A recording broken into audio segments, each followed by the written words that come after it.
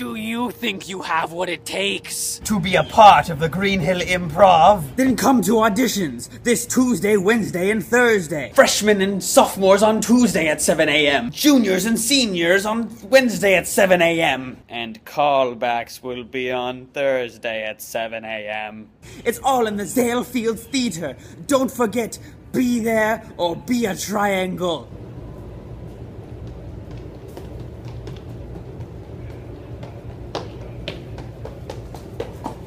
Come audition. Quick, Ryan Debner, what are your thoughts on Green Hill Improv? It's good stuff. Okay,